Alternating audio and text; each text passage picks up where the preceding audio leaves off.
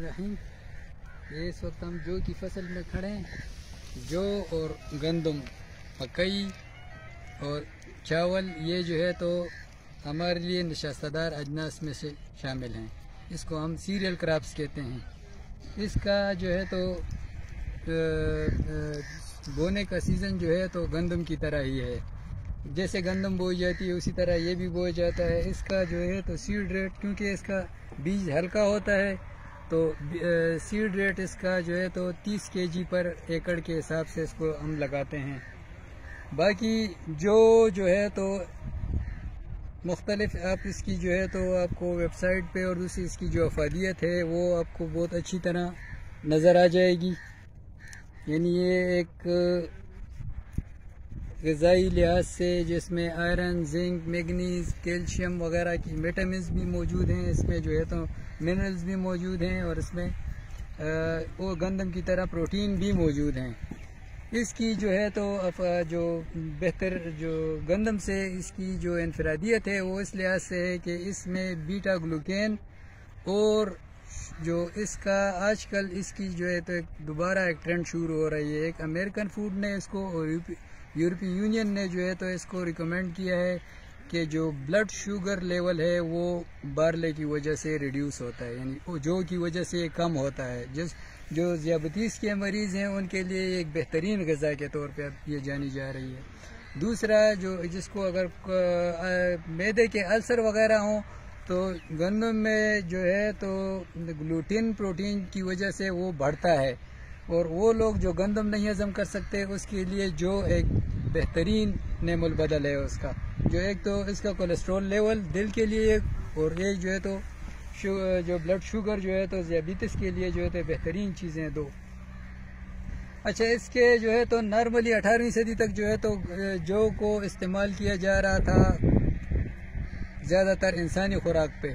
उन्नीसवीं सदी में इसको जो है तो जानवरों की खुराक के लिए इस्तेमाल किया गया गया। और अब जो है तो बीसवीं सदी में इसको दोबारा जो है तो इंसानी खुराक के लिए दोबारा ये बढ़ती जा रही है इसकी अफादियत। जैसा कि मैंने आपको बताया कि मैदे और शुगर की उसके जो मरीज़ों के लिए ये बेहतरीन गज़ा है। जो जो है तो गंदम के मुकाबले में एक सखजान फ़सल है।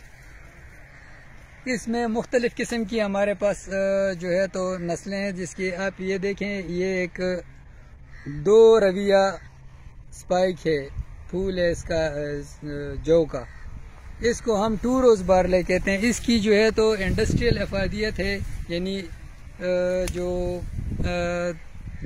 उसकी सतह पे आप देखें कि इसकी जो है तो इंडस्ट्रियल लेवल पे या जो है मार्टिंग, ब्यूरिंग या जो शराब और आबेजो वगैरह जो बनता है, वो इस जो का बेहतरीन है। ये पूरी दुनिया में इसके लिए जाना जाता है। इसकी पैदावार, ये सिक्स रवैया हमारे पास इसकी जो है तो स्पाइक है।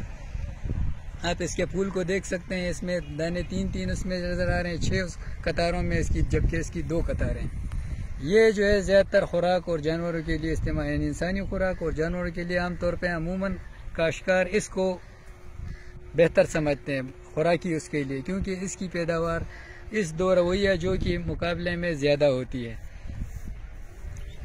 इम्पोर्ट जी? इम्पोर्ट इसकी अगर इम्पोर्ट के हिसाब से बात करें तो हम जो है तो सनती मकासद के लिए दो रवैया जो को इम्पोर्ट करते हैं। और सिक्स ये जो छः कतारी जो है ये हमारे पास जो है तो वाफर मकदार में मौजूद है। इसकी हम इतनी जो है तो इम्पोर्ट इसकी ऐसे नहीं है। और दूसरा, इसकी अगर खुराकी तौर पे दोनों को लिया जा सकता है। इंडस्ट्रियल उसमें जो है तो क्योंकि इसके दानों को आप देखें तो आप शुरू से लेके आखिर तक है तो इसकी माल्टिंग और उसमें जो है तो एक आसानी पैदा करती है, बनस्बत इसकी। तो इसको जो है तो सनती तो सनत में इसका इतना इस्तेमाल नहीं है। बाकी जो है तो जो जो है तो गंदम की नस्बत एक सख्त रवैया फ़सल है, इसको आप जो है तो कम पानी में और कमज़ोर ज़मीनों पे उगा सकते हैं। और कम, कमज़ोर ज़मीनों पे इसको उगाने का बहुत अच्छा जो है तो हमें वो मिलता है। इवन जो है तो ये, अगर जहाँ आपकी शोरीदा ज़मीनें हैं, या जो जिसको आप नमकियात वाली या कलर वाली ज़मीन कलराठी ज़मीनें कहते हैं उस पर भी ये जो है तो सबसे ज़्यादा पैदावार देने वाली फ़सल, बल्कि उगने वाली या तो उसके लिए मुदाफियत रखने वाली फ़सल है। बनस्बत गंदम के।